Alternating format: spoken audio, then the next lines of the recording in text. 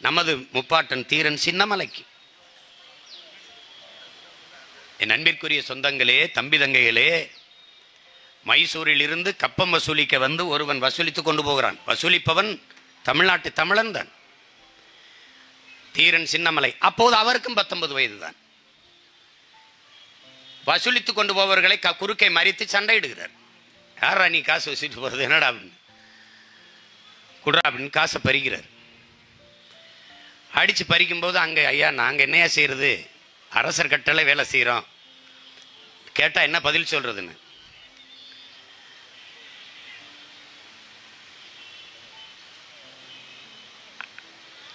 அப்போ வந்து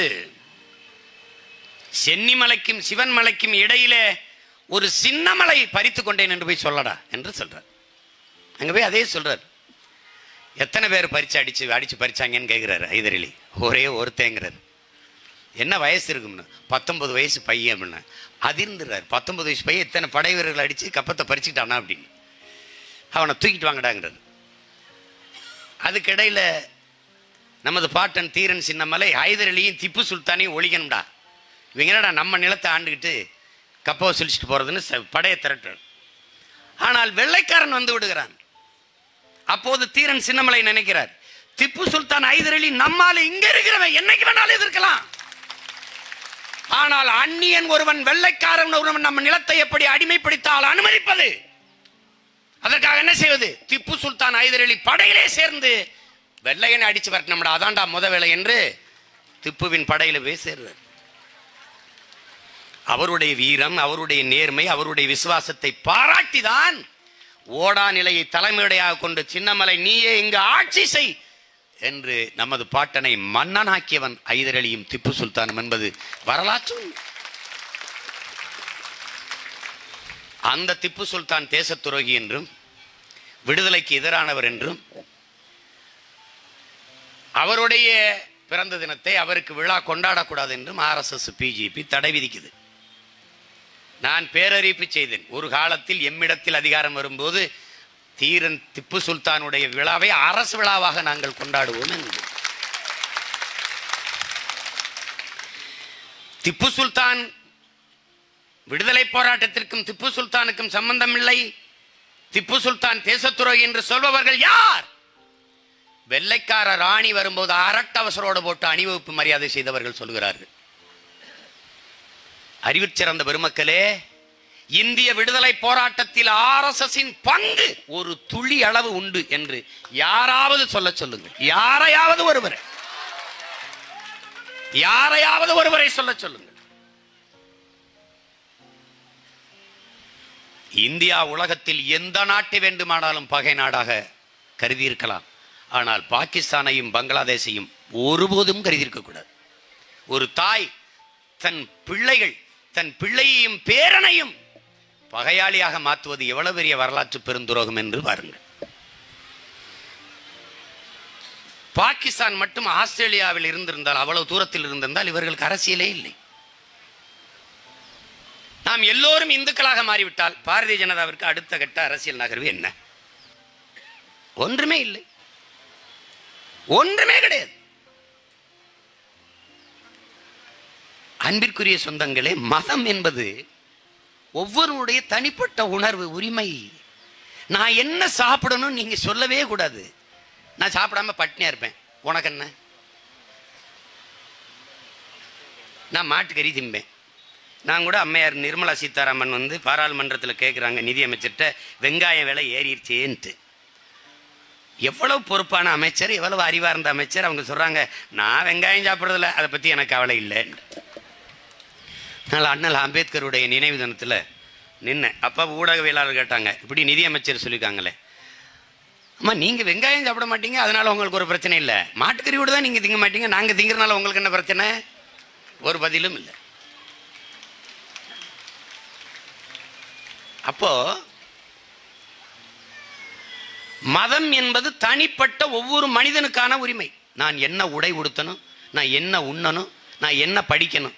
நான் என்ன பாடம் படிக்க வேண்டும் எந்த பிரிவை எடுத்து படிக்க வேண்டும் என்பதை அரசு தீர்மானிக்குமா?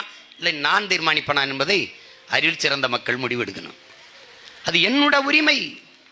எந்த மதமும் வேண்டாம் என்று வெளியேறியும் நம்புவேன் அதுவும் அதுவுமே என்னோட உரிமை. அதுவும் என்னோட உரிமை. இதில் யாரும் தலையிட முடியாது. மதமாற்றம் மதமாற்றம் மதமாற்றம் என்று பேசுகிற பெருமக்களே எங்களை இந்துக்களாக மாற்றியது யார்? பதில் உண்டா? சீக்கியம் தனி மதம். புத்தனை போற்றுகிற பௌத்தம் தனி மதம். சிவனை வழிபடுகிற சிவனியம் தனி மதம். சிவசமயம் தனி மதம். எங்கள் மதம் தமிழர்களின் சமயம். முருகனை வழிபடுகிற முருகம் சைவம் தனி மதம். மாயோனை வழிபடுகிற திருமாலை வழிபடுகிற மாலியம் தனி மதம். இறந்து போன முன்னோர்களை போற்றுகிற மூத்தோர்களை போற்றுகிற நீத்தாரியம் தனி மதம். ஆசிவகம் தனி மதம். சமணம் தனி மதம். ஆட்சி அதா இந்த பார்சியம் தனி மதம். இப்படி தனித்தனி மதங்கள். உனக்கென்று ஒரு மதமே கிடையாது. வெள்ளைக்காரன் இந்த நிலப்பரப்பை பல சமஸ்தானங்களை ஒன்றிணைத்த நாடாக கட்டியது போல பல மதங்களை கணக்கெடுத்துட்டு வரான். இந்த மக்கள் தொகையை. பெருங்கூட்டமாக இருக்கானே? இவனை எப்படி கணக்கெடுக்கிறதுன்னு முடிவெடுக்கிறான். Sir William Jones. அவன்கிட்ட போய் ஆரிய பிராமணர்கள் இந்து தான் இங்கே மதம். இந்தியா முழுமைக்கும் சமஸ்கிருதம் தான் மொழி. இங்க ஒரே மதம் இந்து தான் என்று திரும்ப திரும்ப பேசி அவன் மண்டையை கழுவினார்கள். அவன் சமஸ்கிருதம் தான் பெரிய மொழி போல இருக்கு. இந்தியா முழுமைக்கு எல்லாரும் பேசுறாங்க நம்பிட்டான். அப்ப என்ன கண- என்ன பண்றதுன்னு தெரியல அவனுக்கு. அப்ப எவன் பார்சி இல்லையோ எவன் ஆங்கில இந்தியன் இல்லையோ எவன் இஸ்லாமியர் இல்லையோ எவன் கிறிஸ்தவன் இல்லையோ அவனெல்லாம் இந்து என்று ஒரு கையெழுத்திட்டான். சார் வில்லியம் ஜோன்ஸ் அவன் போட்ட கையெழுத்தில் தான் நாங்கள் இந்துக்கள். நாங்கள் சட்டப்படி இந்துக்களை ஒழிய சரித்திரப்படி இந்துக்கள் அல்ல.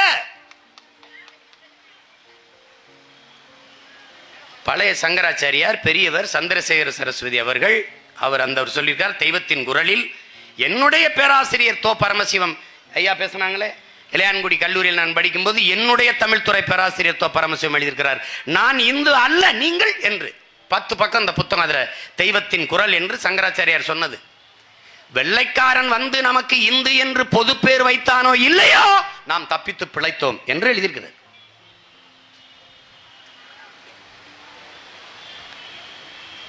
ஆனால் இன்றைக்கு இல்லாத ஒன்றை இந்தியா என்று ஒரு நாடு இருந்ததில்லை. உருவாக்கப்பட்டது வெள்ளைக்காரர்களால். ஆனால் இந்த நாடு விடுதலை பெற்றிருக்கிறது. என் முன்னோர்கள் ஒவ்வொருவரும் சிந்திய ரத்த துளிகளால் இந்த நாடு விடுதலை அடைந்திருக்கிறது. இது என் நாடு இது இந்து ராஷ்டிரா என்று சொல்லிக் கொள்கிற நீங்கள் இந்த நாட்டின் விடுதலைக்கு போராடிய ஒரு போராட்டம் ஒருவன் எதிர்கொண்ட மரணம் ஒன்று கிடையாது. என் பாட்டன் தீரன் சின்னமலை தூக்கில் தொங்கினான் என் பாட்டன் மருதேவர் தூக்கில் தொங்கினான் என் பாட்டன் அழகுமுத்துக்கோன் போராடி செத்தான் எங்கள் பாட்டன் வெள்ளையத்தேவனும் சுந்தரலிங்கம் போராடி செத்தான். எண்ணற்ற வீரமரவர்கள் இந்த நிலத்திலே நாங்கள் உயிர் தியாகம் செய்தோம். இந்தியா விடுதலை பெறுகிறது. இந்திய யூனியன் முஸ்லீம் லீக்கின் தலைவராக இருந்த லியாக்கத் கான் பாகிஸ்தான் தனிநாடாக போகிறது. அவர் பாகிஸ்தானுக்கு போகிறார். எங்களுக்கு ஒரு தாத்தாக இருந்தான். அவனை அழைத்து சாஹிபு நீங்கள் கவலைப்படாதீர்கள். நமக்கென்று ஒரு தாயகம் வந்து விட்டது இனி கவலைப்படாதீர்கள் என்று சொல்லும்போது இல்லை எங்களுக்கென்று ஒரு தாயகம் இருக்கிறது இந்தியா என்று பேசியவன் எங்கள் தாத்தா கண்ணியமிக்க காகிதம் இழத்தவர்கள்.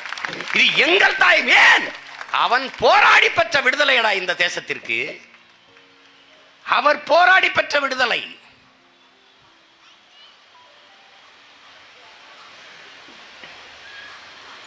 ஒரு கேள்வியை நம்ம கேட்போம்.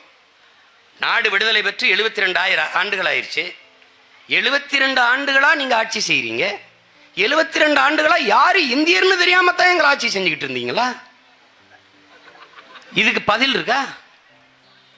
சரி நான் உனே ஓட்டு போட்டது நான் அதிகாரத்தில் இருந்து மக்களுக்கு நல்ல கல்வி நல்ல மருத்துவம் தூய காற்று குடிநீர் வேலை வாய்ப்பு எல்லாருக்கும் வீடு தடையற்ற மின்சாரம் நடக்க பாதை இதெல்லாம் குடுப்பாயின் தான். குடியிருக்கிற வீட்டை இடிப்பாயின் இல்லை. நாங்கள் தேசத்தின் குடிமக்களா இல்லையா என்று நீ தேர்வு நீ வந்து கணக்கெடுக்க உனக்கு அதிகாரம் கொடுக்கல. கணக்கெடுக்க அதிகாரம் கொடுக்கல. எப்படிப்பட்ட அறிவாளிகள் இந்த நாட்டை?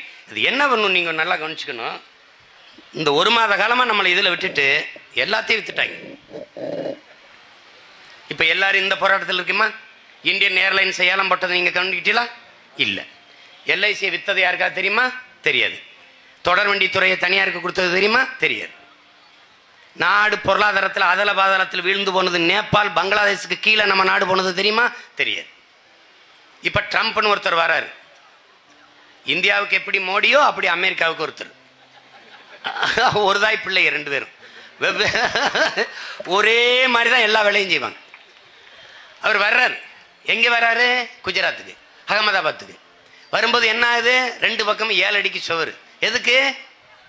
பாதுகாப்புக்கு. யார்கிட்ட இருந்த? சொந்த நாட்டு மக்கள்கிட்ட இருந்து. அது ஏன் அந்த பக்கம் மறைப்பச்ச? ஏழு அடிக்கு சுவர்? குடிசைகளா இருக்கு. குடிசைகளா இருக்கு. இவர்கள் ஆட்சி செய்த லட்சணம். டெவலப் டெவலப்னு வாய்களிய பேசுனன். எப்படி சொல்லி திட்டதுனே தெரியல. குடிசைகள் குடிசைகள் வந்து ட்ரம்ப் கண்ணுக்கு தெரிஞ்சிடக்கூடாது. அதுக்கு ஏழடி உயரத்தில் வேக வேகமாக சுவர் எழுப்புகிறார்கள் என் அன்பு மக்களே. அந்த செங்கலை வைத்து அவர்களுக்கு குடிசையில் இருக்கிறவர்களுக்கு வீடு கட்டி குடித்திருந்தால் அது தலைவன் செய்வான். அது தலைவன் செய்வான். தரகர்கள் ஒருபோதும் செய்ய மாட்டார்கள். இவர்கள் புரோக்கர்ஸ் நாட்ட லீடர்ஸ் தலைவன் என்பவன் தன் நாட்டு மக்களுக்கு சேவை செய்வான். தரகர் என்பன் உள்நாட்டு வெளிநாட்டு பெரு முதலாளிகளுக்கும் சொந்த நாட்டு மக்களுக்கும் இடையே தரகு வேலை செய்வான். அதுதான் நடந்து கொண்டிருக்கிறது. ஜப்பான் முதலாளி வா கொரியன் முதலாளி வா ரஷ்யன் முதலாளி வா சைனா முதலாளி வா எல்லாம் என் நாட்டில் தொழில் தொடங்கு. உலகில் எல்லா நாடுகளும் அறிவார்ந்த மக்களே made in China made in Japan made in Singapore made in Russia made in America made in German made in France India மட்டும் மேக் இன் இந்தியா ஏன் நீ ஏன் மேட் பண்ணல? பண்ண மாட்டேன். இந்த பொருளாதாரம் தான் சந்தை பொருளாதாரம் வர்த்தக பொருளாதாரம். இந்த பொருளாதாரத்தை ஏற்றுக்கொண்ட ஒரு நாட்டின் தலைவன் அது எவனா இருந்தாலும் சரி நானாவே இருந்தாலும் சரி அவன் புரோக்கரா தான் இருக்க முடியும்.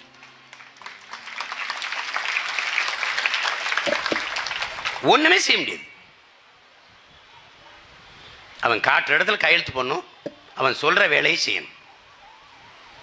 அமெரிக்க பொருளாதார அடியாளியின் வாக்குமூலம் படிப்பீங்க படிச்சிருப்பீங்க என் தம்பி தங்கையில் நான் படிங்க. முழுக்க படிக்க வேண்டாம்.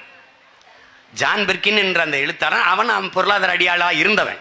அவன் முகப்புறையில் எழுதுகிறான் என் அன்பு சொந்தங்களே. நாங்கள் உங்கள் நாடுகளின் தலைவர்களுக்கு கடன் கொடுப்போம்.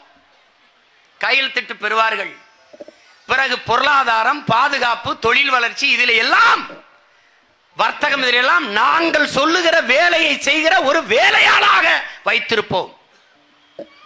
அவர்கள் தங்கள் சொந்த நாட்டில் சாலை போடுதல் மருத்துவமனை கட்டுதல் வானூர்தி நிலையங்கள் அமைத்தல் இது போன்ற வேலை திட்டங்களை செய்து தங்கள் இருப்பை தக்க வைத்துக் கொள்வார்கள் என்று சொல்றார். அதான் இங்க நடக்குது. எய்ம்ஸ் மருத்துவமனை இருபது ஆண்டுகளா அடிக்கல் மட்டுமே நாட்டப்பட்டிருக்குது.